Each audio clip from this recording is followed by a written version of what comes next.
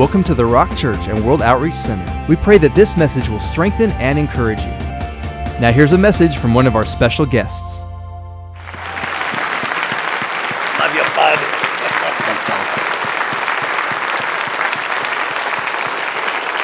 Amen. You may be seated. You know, I died for about four minutes and uh, my heart just stopped. And they were worried that, uh, you know, the oxygen would be cut off to your brain. If anyone knows what that's like, and, you know, you, you can be retarded in certain ways and, and so forth. Um, but uh, the good news was I was talking to my wife, and, and she put them at ease because she said, No, he's always been like that. Um, that's, uh, that's normal for him, you know. Uh, so, no, all good. People ask me, Did you see anything? Uh, no, it was just pitch black. Um, I should have come back and wrote a book. You know, I mean, who's going to say you lied? You know, no one can test you on it. I could have made some money, but I wasn't quick enough, maybe the lack of oxygen, but. hey, look, thanks, Pastor Jim and Pastor Deborah. They're, they're just great friends of ours, and uh, um, just, I'm just honoured to be here tonight and, and, to be able to preach the word to you. Um, you know, I've, uh, this whole year, the Lord spoke to me last year about harvest, about a season and a time of harvest for the church. And I know it's true because this is the worst year I've ever had pastoring. You know, it's like everything has come against us in, a, in, in you know, from left and right, whatever. But you know, the Word of God n- never fails. Amen? It always prevails and it always accomplishes that for which it's sent.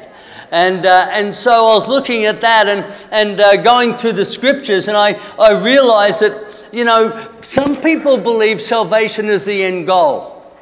It's like you give your life to Jesus and, uh, you know, you've made it, you're in, that's it. And uh, yeah, I love salvation. I, I, remember, you know, after I gave my heart to the Lord at about age 25 and had a very rough life before that, but, but came to know Jesus and it was just amazing. If you don't know him tonight, I encourage you, you know, don't wait. Because I turned to my wife and I said, I said, Annie, why did we wait so long? Like, why did we wait? This is so good. This is so wonderful. Why, why were we hesitating? Why did we wait so long? So, salvation is amazing. And I, I loved it when I came into the church and I learned how to be a father. I learned how to be a husband. You know, I learned how to be a man of God and, and uh, through the Word of God and through great mentors, you know, in my life all around me. You see, my, my parents were, were alcoholics and uh, they died that way. So I, had, I didn't, didn't have a clue how to be a father. I didn't have a clue how to be, you know, um, a man. Uh, you know, I knew how to drink. That was basically all Dad could have taught me. But the reality was, when I came into the body of Christ, the most wonderful thing was I saw that people could build a life that was absolutely amazing. And, and the, the, the benefits now is I've got, you know, three children and six grandchildren. Um, you know, watching that generational blessing flow, I got to tell you, there's nothing like that. There's nothing like that. And uh, amen. So, you know, the, the vision over our church has always been to get them saved and build them for eternity. And I love that vision. God spoke it to me uh, 10 years ago uh, that, that vision. But you know, as I'm reading through scriptures, I realize it goes just one step further. Because not only did the disciples experience a relationship with Jesus, and, uh, and you know, they started to listen to his teaching. They started to, you know, build their lives around the, the yoke of the Messiah, you know, the teachings of Christ. But he also sent them out. And I know about you, uh, the church in America, but in Australia, I think that's one area, as a pastor of 20 years, if I look back, you know, it's one area I haven't done well. Yes, we get them saved, and yes, we build them for eternity, strengthen their life, motivate them, build them. But not often have I personally, I confess to you tonight, made a, an absolute, deliberate, you know, target to send the disciples out. And, uh, and so I look in Scripture and I find that that's exactly what Jesus did. Turn over to Mark chapter 6. Mark chapter 6 in your Bibles, I'm going to read verse 7 to 13.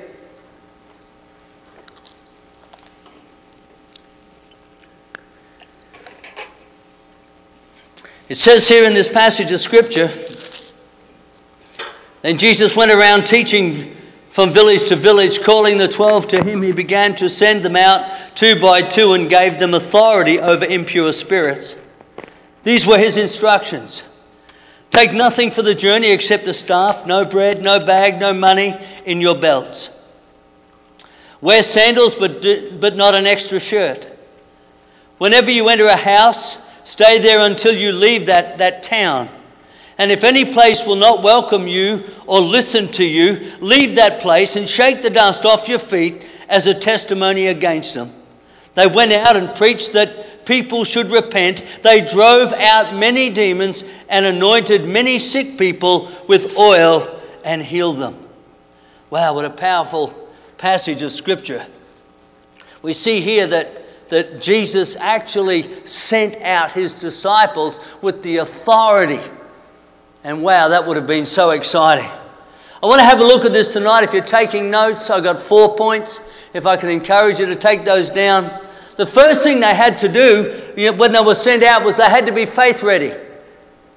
Faith ready. In verse 8 and 9, there, it talks about, he gave them these instructions. You know, to take um, nothing for the journey except the staff, no bread, no bag, no money in their belts. You know, wear sandals and not an extra shirt. In other words, position yourself at all times so you're free with the gospel. You're not encumbered. You're not, you're not overwhelmed by stuff and this and that and, and this. No, no, no. You've, you've gone focus. It was like Jesus was saying to the disciples, Boys, I'm not sending you on a vacation. And if you happen to see a needy person or, or someone who needs help, well, just, you know, say a little prayer for them. No, it wasn't that. He was saying, No, I'm sending you out deliberately on a mission. I don't want you to get distracted with all this stuff in your life. I want you to be totally faith ready for every opportunity that's presented to you. Isn't that cool? That they weren't to be encumbered by the things of this world. They'll be free, ready to step out when the Holy Spirit moved. Incredibly powerful. The reality is, and, and you would know it as I do, that the more we add to our life, the more we're consumed. Is that true? You know, everything we own owns a piece of us. That's the way it is. I'm not saying don't have anything. All I'm saying is we need to calculate, you know, that we're not totally consumed by the things of this world, so that when God wants to move in our life, you know, for some of us, He would have to take an, a, you know, a, a ticket, a number, um, or, or make an appointment because we're so busy, we just, just don't have time, you know, for the Holy Ghost to move in our lives. I remember years ago when uh, I was growing up, I wasn't a Christian, but I remember that Sundays, you know, Sunday, life was very simple because Sundays, nothing, everything was shut down. Did that happen in America? You know, uh, everything was shut down. Everyone went to church because there was nothing else to do. And, uh, and you know, who remembers the Sunday lunch? You know, the, the baked dinner, mum used to bake a dinner, Sunday lunch, and families actually ate together and, uh, and had a great time together as family. I remember that, even though my, you know, my family was dysfunctional, we still had Sunday lunch. Time to gather together. It was a simple time. It was a time, you know, where we could share and, and, uh, and so forth. But I think things are a little different these days, amen? You know, there's so much on, there's so much to do. And as Pastor Jim said, you know, thank you for coming tonight. You know, there's a thousand places you could be, but you chose, you know, the, the house of God. And there's time for the word and there's time for prayer. And the, the result is when we make that time, we're faith ready. We're faith ready. Timothy, uh, in, in Paul said to Timothy in 2 Timothy 4 1 and 2, he said, In the presence of God and of Jesus Christ, who will judge the living and the dead, and in view of his appearing and his kingdom, I give you this charge. There's his charging him now. Preach the word. Be prepared in season and out of season. Correct, rebuke, and encourage with great patience and careful instruction. You know, be faith ready. Be faith ready. Put the, if we put the externals of life aside for the moment, what, what about our mind? How free is our mind of things and cares and stresses of this world, that if the Holy Spirit was to position us as a disciple of Christ to step out at that moment, would we, would we take it up? Would we pick it up? Would we go, oh, yes, and take that step of faith? Because I tell you what, if we don't, number two, if you don't, you're going to miss God appointments. As my second point tonight, that the God appointments, verse 10 shows us very clearly that whenever you enter a house, stay there until you leave that town. I guess it looked a little like this the disciples would come to town and they would knock on doors. And, and it would sort of, you know, go like this uh, Hi, uh, my name's Byron. Um, God has sent me to your town. Uh, I'm to bring the gospel message and uh, to work miracles. Um, God has told me I, have got to stay at your place um, for as long as I need to, uh, and, uh, and you're to give me a room and feed me and look after me. And, uh, you know, what? There's two responses to that, isn't there? Now, the first one is get off my porch, I'll call the sheriff. You know, I love to say sheriff because we don't have them in Australia. You know, like sheriff, you know, get the sheriff, 911. You know, I don't know. And, you know, that's the first response. But imagine if you, as a believer, in prayer that morning, opening up your heart before the Lord, and, and God says, Listen, today there'll be a knock on the door. That's my servant.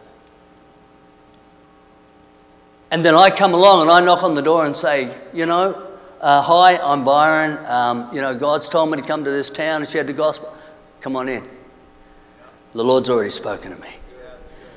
That's a God appointment.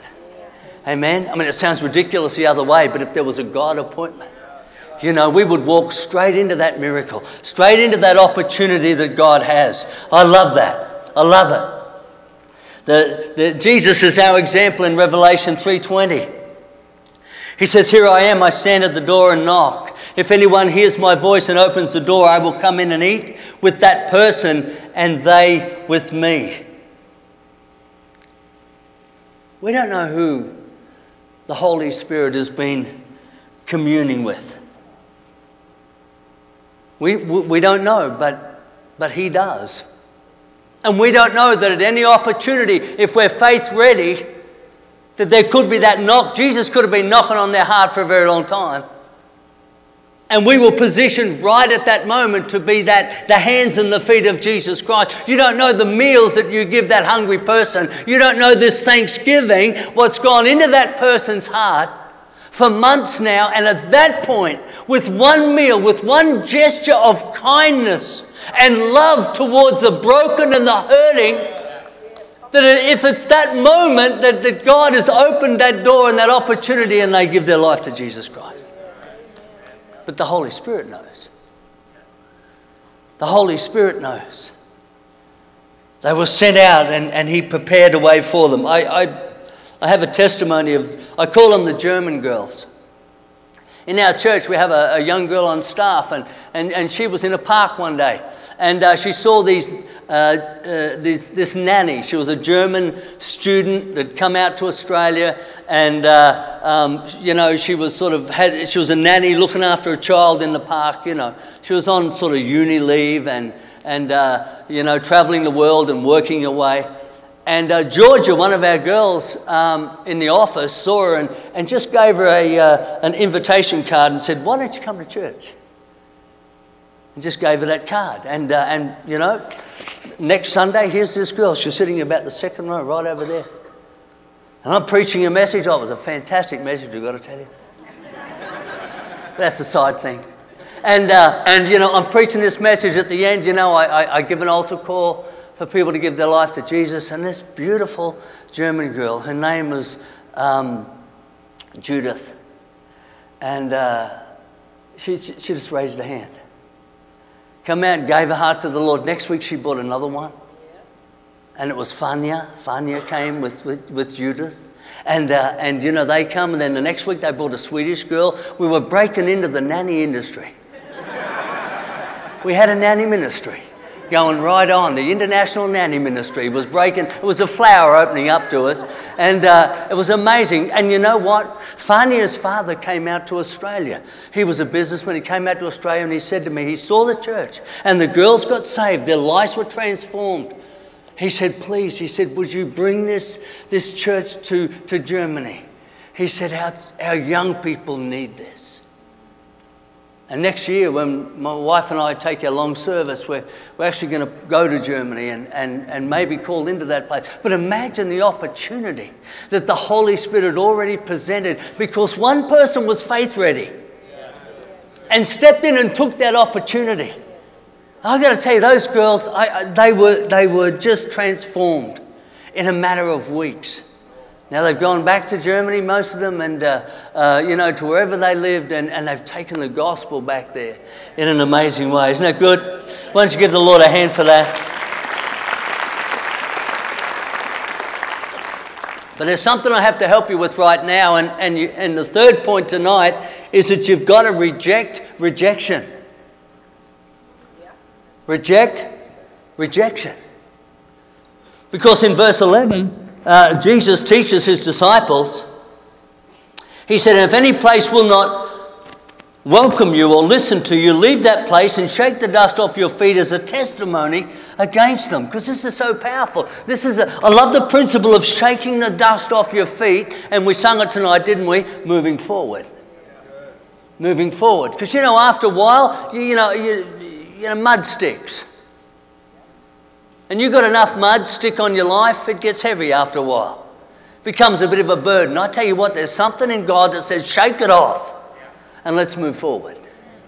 Let's clean it up. Let's start today. Let's shake the dust off our feet. You know that, that, that, that voice that keeps pulling you down every time. Shake it off.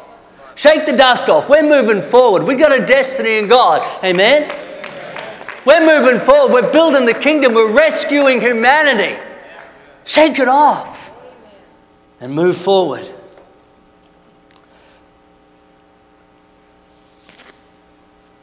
Jesus was saying that not everybody is ready to receive the gospel. You know, you don't plant a seed on soil like this. It just nothing will happen. It won't grow. And Mark tells us that in Mark 4:20 he said, Others, like seeds sown in good soil, hear the word, accept it, and produce a crop. And so we've got to understand that whenever we share the gospel, share a testimony, you know, love someone and tell them about Jesus, and they shut the door on that. We can't take that personally. It's not a rejection of you, it's a rejection of the word. Amen? And if we don't reject rejection, then that's going to feed our insecurity. And I tell you what, we'll never do it again. We'll back away and think, well, I did that once. That didn't work. That was a clanger. Do you say that in America? Obviously not. You know, it's like, well, I'm, I'm never going to do that again. I mean, I stepped out for Jesus and, uh, you know, I caught one in the chin and, uh, no, no. Shake it off. Shake the dust off. You know, there's a destiny, there's a future. We're moving forward. Amen? Shake it off. Don't let that hold you back. Don't let that rob you. You know, the statistics tell us that in the first year, when, when, when a person gets born again, falls in love with Jesus, the light comes on, we get it. We're alive again. There's a, you know, the, the, the Holy Spirit comes, brings us alive. You know, in that first 12 months, they say we tell 10 people about Jesus.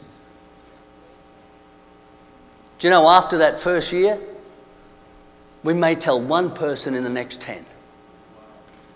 Is that tragic? Same fire, same light, same revelation, same fruit of the Spirit. Yet we don't speak anymore. Why? Because we haven't rejected rejection. We've taken it personal. You know, a pastor, a friend of mine, was preaching a message about the strongholds of the heart the strongholds of the heart. And you know, every time we agree with one of those negative strongholds in our heart, it gets stronger. But every time we shake the dust off, Every time we just shake the dust off and say, forget it, I'm moving forward. I'm going, I'm knocking on the next door. I'm knocking on the next door. I'm knocking on the next door. You know what happens? That stronghold crumbles. And I become freer and stronger. Because it's really not about me anymore. We share our testimony with people, and sometimes they reject it. You know what? That's okay. They're just not ready yet. You know, I remember telling, uh, I had a wife in my office who was, her husband didn't know Jesus yet, and he was, he was just being difficult about it. And I said, Look, you know, you, you've got to cut the guy some slack because he doesn't see it. I said, It's like sitting on a couch watching the football with a blind person and sitting there going, Oh, did you see that pass? Did you see that tackle? Did you see that touchdown? And they're like, Well, no, hello, I'm blind. You wouldn't get angry at that person. You wouldn't get angry at that person because they didn't see it because they're blind, would you? Then, then why do we get angry at people who've never got the revelation you have? See it for what it is. Shake the dust off. Don't be offended. Don't be affected by that. And understand that one day they will. One day they will. One day they'll see it. And it'll be powerful. Because the fourth point tonight is the most powerful. You don't want to miss out on this. It's the supernatural walk. Look at verse 13. It says, They drove out many demons and anointed many sick people with oil and healed them. In verse 12, it says that they went out and preached that people should repent. See, this is not a signs and wonders crusade. You know, this is not that the healing evangelist coming to town and bring the sick and bring the needy and God will heal them. No, no, no. This is, this is the disciples. Seeing the miraculous happen in the very streets they live. The very streets they live. They saw the miraculous because they were prepared to step out. They were faith ready. They saw God appointments. They weren't prepared to be held back by rejection. And they had the supernatural walk. He sent them and gave them authority. And when they went out, they saw the supernatural in the streets. Amen? I want that. Do you want that? You know, Monday, Tuesday, Wednesday. I, I mean, I love church. I love, I'm a pastor. I live for church. Sunday's my big day. I love it. I love the people coming together, praising God, the family, the body of Christ strengthened together. I love that worship, praise in the house, the anointing. When I was standing over there, when these guys were worshiping, and I was like, oh, I love that. But what happens when that friend of yours is broken and needy and it's a Tuesday? Or that young person you know that's threatening to commit suicide, but it's Wednesday. Say, look, oh, wait, can you wait till Sunday? I'll take you to church Sunday. No, it may be too late Sunday. It's a good thing to do to bring them, but more better on the spot, walk in the supernatural of God. Start to reach out, start to speak in faith, start to destroy the voices that keep them bound and keep them broken. And we can do that Monday, Tuesday, Wednesday, Thursday, Friday, Saturday. Amen. The reason for that is because we are the body of Christ, we are the disciples of Christ, we are the sent ones. We're the sent ones. Yes, we're the church and we're proud of that. We love that. That's amazing. But we're the ones that are sent out to see the supernatural in our daily lives. We are the body of Christ. The supernatural power of God is not dead. Amen? Amen? Supernatural power of God is not dead. It's just waiting for some hands and feet and a voice to proclaim it. Amen. Proclaim it, who we are. We are the disciples of Christ. It's wonderful that we've received salvation. Amazing. It's wonderful that, you know, the Word and the Spirit is building us into the men and women of God that we need to be. But we are the sent ones that need to take what God has poured into our life and begin to see the supernatural in our everyday. Now, folks, I'm not talking about flaky stuff. We call them Fruit Loops in Australia. Do you have Fruit Loops here? You know, they scare me. Do they scare you? These Fruit Loops? I, I you know, I don't want to be unkind, but that's not what I'm talking about. You know, I, I was talking to a guy one day, and he, Jesus speaks to him so much, it's no wonder he doesn't talk to me. He's always talking to him. I said, Could you just, you know, God told me this, and God told me that, and God told me this, and God told me that. So, wait a minute, can you show, oh, tell me something? Give me a turn. I'm not talking about flaky stuff. I'm talking about understanding that if you position yourself and you free your life ready for those opportunities, it's not going to happen every day, maybe. You know, but when it does, you're there. When it does, you're ready. You're not encumbered. You're not held back. You're not too busy. You're listening. You're ready. You know, you're, you're faith ready to take that God opportunity. You're not worried about the fear of man. Because when you walk in the supernatural of God, nothing compares to that. Amen? Nothing compares to that. I know about you, but I don't want to live a Christianity any other way. You know, I didn't save to become a churchian. I became a Christian. And I'm a sent one. And I have authority to go out and do what He's called me to do. And you know, so do you. I think one of the reasons that a lot of believers don't fully complete their mission is that they don't think they've got permission to do that. Maybe no one's ever said, you know, look, this is part of the deal. You're required to do this. I want you to know tonight that if you're a disciple of Jesus Christ, this is part of the deal. Yes, we embrace salvation and it's amazing. Yes, God is, is awesome with building our lives and strengthening our families and giving us, you know, just that, that connection and wisdom and, and all that that's in the Word of God. Amazing stuff. But we must be the sent ones as well. We must get up and go out there and make a difference. That's all part of the deal. Amen? It's the whole thing. It's not just part of it, it's the whole thing. And uh, I tell you what, that's when your Christianity comes alive. But can I challenge you tonight? Can we just start with one life? Just with one life.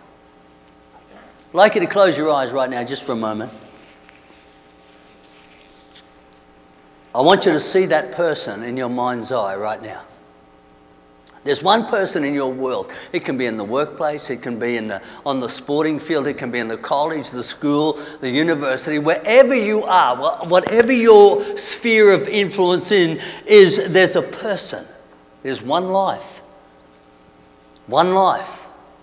One life. And the Holy Spirit will put that face in your mind's eye because they're ready.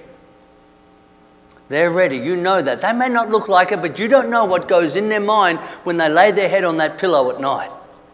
You don't know what happens in that heart when no one else is watching and no one else is around. When it's public, there's a great bravado. But when they're alone, there's a great breaking. And Holy Spirit, come right now. Put that, put that one life, that one life in our minds right now. Send us into that life with a message of salvation and freedom and deliverance and wholeness.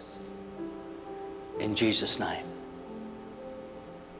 In Jesus' name. Amen. Will you pray for that person? Will you pray for that person? Will you, will you not let that picture leave your mind? Within the next 12 months. Now, the reality is if, if every, everyone in this church just led one person to Jesus in 12 months, this church would double in size. It's not rocket science, it's very simple. Just one person a year, a year in 12 months. Just one person. All of us, every believer, just one person. And if we did it the next year, you know it'd double again. And there would be so many people finding Jesus that the newspapers would come and, and Charisma magazine would come and they'd interview your pastors and they'd say, What's going on? This must be revival. It's not revival, folks. It's just believers being believers. It's just believers in Jesus Christ doing what they're called to do. The sent ones. Amen? Amen? Why don't you give the Lord a hand? I'm going to ask Pastor to come.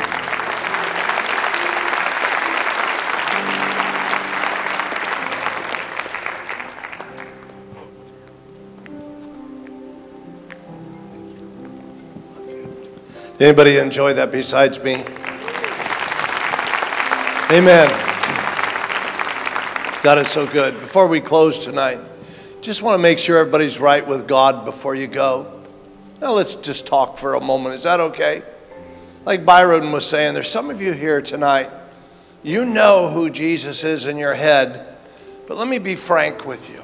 Is that okay if I can just be kind of like upfront and in your face for a moment? if you were to die tonight, you wouldn't make it. Some of you say to yourself, Well, I think I would go to heaven. Nowhere does it say in the Bible that you can have positive thinking and make it to heaven. Some of you say to yourself, Well, I hope, you know, if I died tonight, I hope, you know, Pastor, I'd go to heaven. But nowhere does it say in the Bible, nowhere, that you can hope your way into heaven. I hope, I hope, I hope, I hope. It doesn't work that way. Some of you say to yourself, well, you know, I love God a whole lot. I, am going to go to heaven because I love God. I'm here tonight, aren't I, Pastor? I'm, I'm in church. I love God. But did you know that nowhere in the Bible, now listen to this, isn't this one? I would think this is different, but it, it's true. Nowhere in the Bible it says because you love God, you get to go to heaven. Did you know that? Nowhere. It's not in the Bible. That's not how you get to heaven. Some of you say to yourself, well, Pastor, you don't understand. I, I, I you know, I, I joined my last church. It was a Christian church, sang in the choir, helped the pastor out. You know, I was a leader in that church. I'm just visiting this place tonight. That's great. But did you know that nowhere in the Bible does it say because you go to church, help the pastor out, sang in the choir, was a leader in the church, you get to go to heaven? You're not going to make it. And somebody needs to love you enough, respect you enough, and honor you enough. Now, think about that. Love you, respect you, and honor you enough to stop playing church and tell you like it is. Somebody needs to love you enough to get in your face before it's too late. Wow. And tonight, you have a divine appointment with God, not only just to come because someone invited you not just come because it's the thing to do, you didn't have any place else to go. God saw you before the foundation of the world that you would be in this place tonight. You have a divine appointment with God tonight. This is your night of salvation. You might say, well, Pastor, wait a minute. You just don't understand. My mom and dad told me when I was a child I was a Christian. Well, they said, you know, we're, we're, we're born in America. We went to church. I, we went to that denominational, nice little denominational church. And, and I, I went through catechism class or Sunday school or Sabbath school class. And, you know, I've always thought of myself as a Christian. Nowhere does it say because you went to those classes. Nowhere does it say because you think of yourself in a positive manner as a Christian that you get to go to heaven. Did you know that? Did you know that the Bible makes it very clear? Jesus makes a statement. He says, I am the way, the truth, and the life. Here's what Jesus said No man goes to the Father except by me. You can't get there your way or my way or some well meaning church committee's way. No, you can't make it. You're not going to make it man's way. If you're going to get to heaven, and you know darn well you want to make it, so listen to me. You're going to have to get there God's way. And Jesus tells us exactly in the scripture how to get there. It's like, how did we miss this in American churches? It's as clear as a bell. Jesus said, John 3rd chapter, you must be born again. Now, when I use the terms born again, everybody immediately, like in America, turns off. Do you know why you just turned off when I use the words born again? Because movies, television, magazines, stories that are being told talk about crazy, fanatical, weirdo, born again people. Like Hollywood has presented born again people as idiots. And you don't want any part of that. Well, I don't want you to be an idiot either. And that's not what God's talking about. What Hollywood Hollywood has no idea about how to get to heaven. Here's what born again means from the beginning of your Bible to the end of your Bible. It means you have given God all of your heart, you have given God all of your life. Now, listen to me. What God is after for each and every one of us is an all or nothing relationship with Jesus Christ. All or nothing. All or nothing. Bottom line, that's it. The whole Bible is there to tell you that you're going to have a choice in front of you to give him all of your heart or not give him all of your heart. You can't give him part of it and make it to heaven. You can't give him a little bit and make it to heaven. You're going to have to give it all. It's an all or nothing thing. I'll prove it to you. Last book in the Bible, book of Revelation. Last book, you know, you've heard the book of Revelation. In Revelation, it says these words Jesus is speaking himself, his own mouth, his own words. And he says, I'm coming again, and you know he is. We just don't know when, but we know he is. Could even be tonight, but watch this. He says, When I come, I better find you. You, you, you, you, you, you you, you, you, you, you, you, you, you, you, you. I better find you hot or I better find you cold. Because if I find you lukewarm, I will vomit you from my mouth. What a blunt and rude statement from the mouth of Jesus. I will vomit you from my mouth? What kind of a statement is that?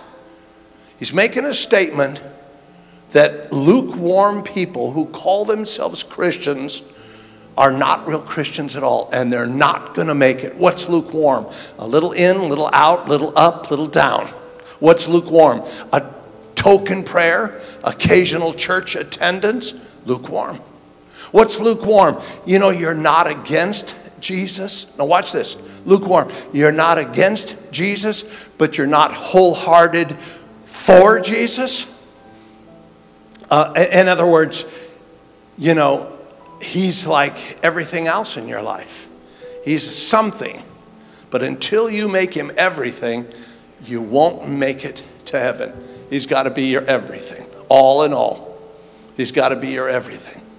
And the only way that happens is you give God what he's after all of your heart and all of your life. And that's your choice that's your call, not mine, not the people you came with, not the preacher in the television or the preacher on the platform. It's your call whether you give God all of your heart and give God all of your life. Now, someday you're going to do that. But today is the day you could start life by giving Him all of your life tonight in this safe, friendly place tonight. We can give God. There's some of you out here that have never really given God. You know who He is, or you wouldn't be here. You can even say, Jesus is Lord. I understand that. You can sing the songs, you know them by heart. You can even quote some scripture. But guess what? You have really never released all of your heart to Him and never given Him all of your life. You're still holding on to half of it for yourself, and you got to give it all. And tonight, Someone loves you enough to tell you the truth. It's an all or nothing relationship. And you cannot make it to heaven by being a little in and a little out, little up, little down, lukewarm. And you got to give him all of your heart and give him all of your life. And if you've never given it to him, then this is a safe, friendly, a divine, that means God appointment for you to give him all of your heart and give him all of your life. Why not? You say, well, Pastor, how do I do that? Well, let's do it God's way. Let's don't do it my way. Let's don't do it your way. Let's do it God's way. Jesus said, If you confess me before men, I'll confess you before my Father. But if you deny me, hear me now, hear me, hear me. If you deny me, I'll deny you. When the time comes in a moment, I'm going to count to three. I'll go like this one, two, three, I'll go bang. When you hear that sound, bang, your hand goes up all over this auditorium. What you're saying by the raising of your hand, watch this, watch this, watch this. You're saying, I want Jesus to give him all of my heart, give him all my life. I want to be born again, headed for heaven, and denying my presence in hell. You don't want to go to hell, and you're raising your hand, making a public statement. What does Jesus say? When you confess me before men, I'll confess you before my Father as mine. But if you deny me, sit there and do nothing, it's your call. And when the time comes, and God's not a liar, He won't want to do this, but He'll do it. He'll have to deny you. He'll say, Go from me, you worker of iniquity. I know you not. That's what the scripture says. Tonight, it's your call. But somebody needs to fight for you. You know why? Because the devil's fighting real hard right now for you not to do it. But if you don't let him do that, you, I'm fighting for you because I love you, telling you the truth, and you need to give your heart and life to Jesus Christ. Who should raise their hand in a moment if you've been running from God instead of to God? I'm speaking to you. Get ready to put your hand up. If you've never given Him all of your heart, get ready to put your hand up. If you've never given Him all of your life, get ready to put your hand up. If you're one of those people that are not sure if you have or where you're at with God, if you've I'm not sure. I love him a lot. I go to church a lot. I read my Bible, but I, I'm not sure if I've ever really given him all of my heart, given him all of my life. Well, make sure. It's silly not to make sure. Maybe you prayed with Billy Graham and on television, or you prayed at a harvest crusade, but did you give him all of your heart? Or are you just hoping some magical little abracadabra words called prayer gets you to heaven? Don't treat God like he's an idiot. It's not about the prayer, it's about the heart. And tonight is your night of salvation. I'm going to count to three, pop my hand on this pulpit area, all across this auditorium. You say, wait a minute, Pastor, hold on, stop, stop. I can't raise my hand. If I raise my hand, I'll be embarrassed.